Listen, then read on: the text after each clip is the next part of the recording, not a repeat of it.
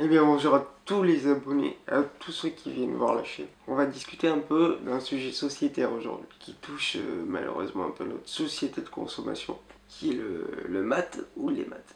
Quel que soit le service, la musique, plus particulièrement le jeu vidéo, les choses qui entourent notre quotidien. En quoi ça peut être une bonne chose, en quoi c'est une évolution, en quoi il faut être prudent aussi sur ce qu'on achète en dématérialisé? En quoi ça peut déranger la concurrence. Par où ça a commencé, on va discuter un peu de l'histoire du mat et du démat aujourd'hui. J'espère que ça vous plaira. On va discuter d'un point de vue de minimaliste et euh, en quoi ça peut être paradoxal. Et je vous rajouterai quelques petites news à la fin, comme d'habitude. Donc si la vidéo vous a plu, n'hésite pas à me lâcher un petit pouce bleu. Pas du coup t'abonner, ah, ça me fait vachement plaisir et puis ça aide la chaîne. N'oubliez pas qu'on vous le rabâche, mais c'est parce qu'il y a une raison visionnage. Plus le temps passe, plus la dématérialisation prend la place dans nos vies. Donc il faut en parler. Mais est-ce que c'est une bonne chose? Est-ce que c'est une mauvaise chose? Eh bien, tout dépend du point de vue. C'est-à-dire que c'est un choix sociétaire aussi. Et c'est en ça que c'est important. Mais il ne faut pas oublier que c'est dans les années 2000 que tout a commencé. Notamment avec euh, Apple qui va essayer de relever le milieu de la musique face bah, justement à la démocratisation du téléchargement.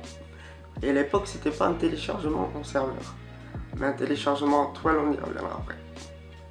Ils vont sortir un produit qui s'appelle l'iPod. Et ça, ça va révolutionner les choses parce qu'on va pouvoir transporter 3000 morceaux sur 5 Go c'est bizarre de le dire aujourd'hui, mais il faut se remettre qu'il y a 20 ans, ça n'existait pas. Et c'est quand même génial. Et c'est en ça où c'est intéressant et où ça va commencer à évoluer. Et euh, leur branding de l'époque, c'est pour un café, donc 99 centimes, tu peux t'acheter n'importe quel euh, morceau proche d'une qualité CD format assez parce qu'on sait que Apple a un, mais autre que le MP3, un tout petit peu de meilleure qualité, avec des débits beaucoup plus intéressants pour l'époque parce que c'était euh, des câbles en, en, RG45, en fait en PCI, qui pouvaient transporter jusqu'à, je crois que c'était 100 mégas, 100 mégas par seconde de mémoire, ce qui était quand même impressionnant. Tout d'abord, on va parler du démat. La dématérialisation, au fur et à mesure du temps, la musique, les services de VOD, ou encore les livres, comme j'en parlais dans mes précédentes vidéos. N'hésite pas à aller voir, je te mets le lien dans le petit, je parle de la Kindle. Ben, en plus, prennent de plus en plus dans l'envie. Et ce qui est rigolo, c'est que certains services comme Netflix, ou comme Amazon, à l'époque, c'était des services physiques. C'est-à-dire que tu appelais Netflix et tu recevais une cassette par la poste ou par un coursier dans ton hôtel. Et en fait, tout a commencé comme ça. Et à l'avènement du CD dans les années 2000, Netflix a procédé à un shift. Plus vers 2003, ils vont commencer à arrêter le service cassette pour se mettre à la location DVD. En fait, tu commandais euh, DVD, ça arrivait par la poste, et soit tu les renvoyais, soit ils t'envoyaient des séries exclusives. Et euh, Netflix va procéder à un troisième shift avec l'avènement d'Internet. Avec notamment la DSL qui va te prendre un peu plus de place. Et ce qu'il faut savoir, c'est que le démat aussi apportait quelque chose. Le démat apportait ce qu'on appelle le téléchargement et les abonnements surtout. Le démat va apporter les abonnements dans le sens où quand on regarde aujourd'hui ce qu'on dépense pour des milliers de titres sur Spotify, Apple Music, Netflix, Kindle et autres, ou Audible, il faut savoir que même tous ces amendements mis bout à bout, on en a pour quoi 60 euros Imaginez Parce que moi, quand j'étais enfant, on dépensait en argent pour avoir des magazines, pour avoir des cassettes, des DVD, et de quoi consommer. Surtout qu'on n'avait pas un grand catalogue, parce qu'on devait tout le temps repasser en magasin pour échanger nos cassettes. Et euh, c'était exorbitant, il y avait des gens qui dépensaient 50, 50, 60 balles par mois, rien qu'en film. Alors imagine si tu achètes des vinyles, si tu achètes des disquettes pour jouer. Voilà, mis bout à bout, on arrive à 300-400 euros, pas en équivalent aujourd'hui. Donc c'était quand même énorme. Donc l'abonnement a apporté une démocratisation du consultage de contenu et va apporter la possibilité notamment, on en parlera après, mais pour les développeurs qui sont indépendants dans le jeu vidéo, de développer un jeu à moindre coût et le vendre à moindre coût, ce qui permet de faire des succès qui sont beaucoup plus simples que si tu devais sortir une disquette ou une cartouche ou un CD avec un jeu. Et va apporter aussi la modularité de pouvoir changer au fur et à mesure du temps, faire des mises à jour sur des programmes ou des jeux, ce qui ne permettait pas le, physique à l'époque. C'est-à-dire que quand un jeu était terminé ou quand une musique était terminée ou quoi que ce soit, on pouvait pas les changer. C'était fait, c'était printé. En fait, et voilà. Et tu recevais euh, ton jeu qui était comme ça. Alors si ton jeu était pourri, il y avait des choses à régler, bah t'étais collé. Alors que là, bon, bah avec internet, tu fais une mise à jour et tout est patché. Imaginez un jeu comme Cyberpunk s'il était sorti il y a 20 ans. Bah malheureusement, bah, euh, tu peux pas patcher. Donc c'est en ça que c'est intéressant aussi. C'est de voir les, jeux qui peuvent évoluer comme des jeux comme Destiny ou GTA qui peuvent évoluer au fur et à mesure du temps. Et c'est ça qui est intéressant. Mais parlons du côté juridique. Quand tu achètes en dématérialisé, il faut bien que tu comprennes que tu, malgré ce qu'on pourrait te faire croire, tu achètes une location longue durée. Tu n'achètes pas une possession. C'est-à-dire que un jeu dématérialisé, tu peux pas le vendre, tu es obligé de l'acheter à prix coûtant. Tu peux pas acheter des jeux dématérialisés d'occasion. Euh, en général, quand tu achètes en dématérialisé, Nintendo, Steam, Microsoft te demande de euh, renoncer à tes droits de consommateur. Pourquoi? Parce que euh, tes droits de consommateur, c'est ton droit de possession. Ton droit de possession avec quelque chose de tangible. Quand tu achètes un, jeu en matérialisé, tu as le droit d'en faire ce que tu veux. À part de le partager pour le piratage. Parce que euh, tu peux en faire une ROM par exemple, avec des appareils euh, spécialisés, mais c'est ta ROM et tu n'as pas le droit de la partager. Ça par contre, non. Mais par contre, si tu achètes un, extracteur de ROM par exemple de Switch ou euh, de Game Boy ou de n'importe quel jeu, tu peux, c'est légal. Par exemple, si tu veux faire tourner ton jeu euh, sur un émulateur, c'est tout à fait légal si c'est ta propre ROM et si tu la partages pas. Mais par contre, a contrario, sur du tu n'as le droit qu'à la consultation en fait. C'est simplement ça. C'est-à-dire que quand tu l'achètes, à vie ou jusqu'à durée du service, on en parlera, mais euh, tu as le droit de consulter et d'y jouer ou, euh, de, ou de regarder ou d'en profiter. Mais c'est simplement à cet endroit-là en fait. C'est pas voilà, je peux le donner à quelqu'un. Même si on peut offrir un jeu, on en parlera de cette subtilité-là. Le démat, il faut savoir que les, disques durs aujourd'hui, euh, on n'a pas des disques durs qui sont énormes pour faire que du dématérialisé. Même si euh, les problèmes d'installation se posent aussi une question. C'est-à-dire que même si c'est un jeu en maths, tu dois installer 80 Go de, jeu qui viennent d'internet. Parce que pourquoi?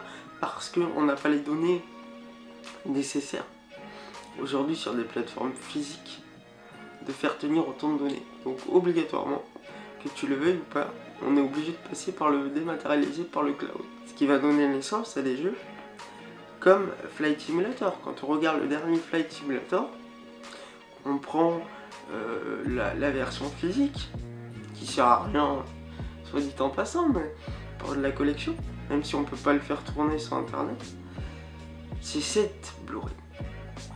Et imaginez si un jeu comme Flight Simulator était sorti à l'époque où on avait euh, que des CD, il aurait fallu, je crois, 30 000 CD pour faire tenir Flight Simulator avec toutes les données qu'on transite. Donc c'est quand même euh, génial ce que peut nous apporter le démat aujourd'hui. Et euh, on va passer du côté minimaliste. Il faut savoir aussi que euh, le dématérialisé, en tant que minimaliste, te euh, permet de, euh, de garder le minimum de choses, physiquement pardon.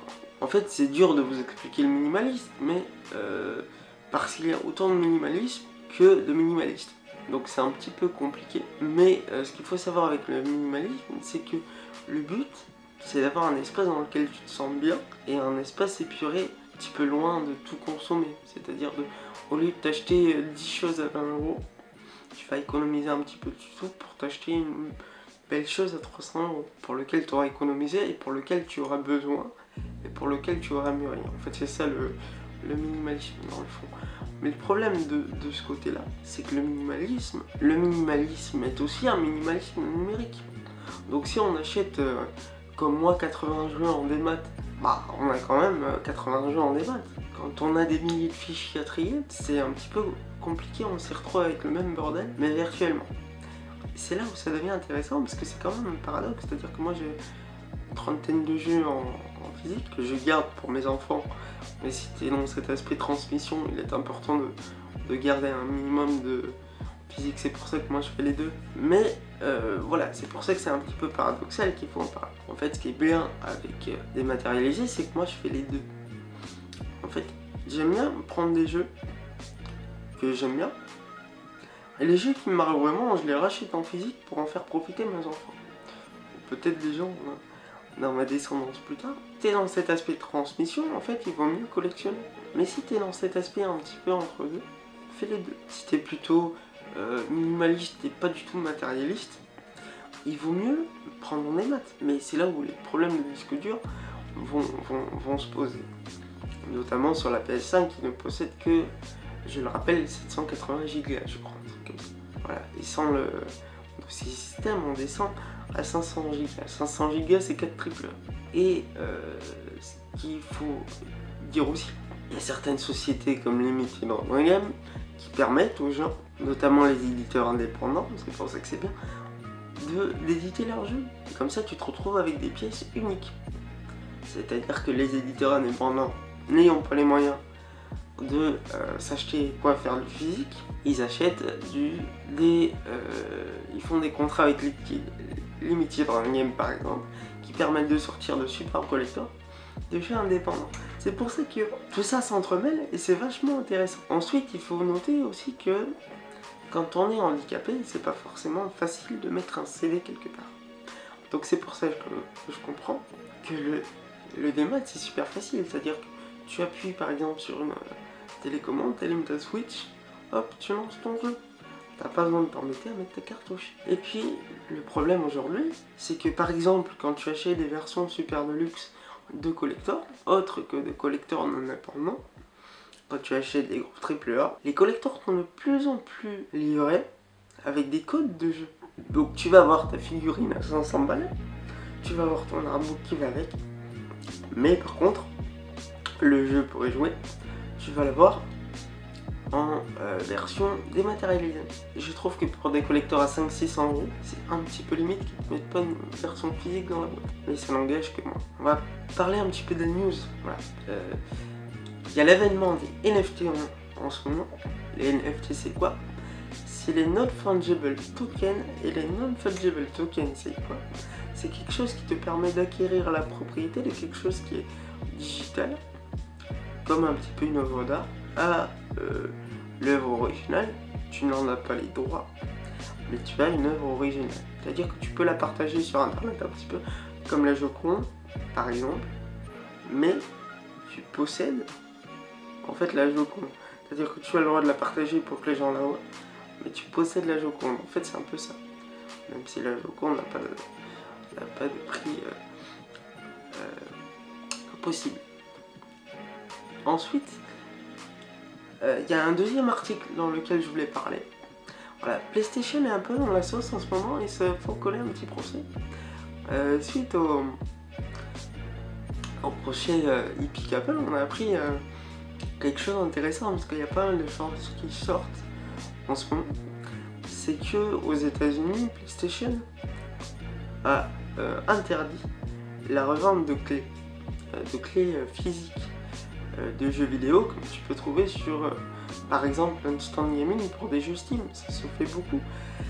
Et c'est là où le problème de concurrence vient se poser. Et c'est quand même vachement intéressant que euh, pour acheter un jeu, chez PlayStation, tu es obligé de passer obligatoirement par leur store euh, sans pouvoir avoir possibilité d'acheter des jeux en démat ailleurs. Et pour les gens qui ont acheté simplement des PS5 digital, c'est quand même un gros souci. Alors, en conclusion, est-ce que le mat et le démat c'est bien? En fait, je trouve que ça s'entrelace. Imagine un service comme Netflix, s'il avait été quand matérialisé, bah ça l'aurait pas fait. Et aujourd'hui, on n'a pas de support euh, qui est capable de tenir plus de 30, plus de 30 ans. Ce qui tient le mieux aujourd'hui, c'est les vinyles. Et encore. Donc j'ai trouvé ça vachement intéressant d'en parler. N'hésite euh, pas à m'en parler en commentaire à me dire ton point de vue. Et on se retrouve dans la prochaine vidéo, on va parler de comment choisir sa coque de téléphone quand on est en fauteuil roulant. J'en ferai une deuxième avec, euh, avec un peu ce que je transporte et mes sacs.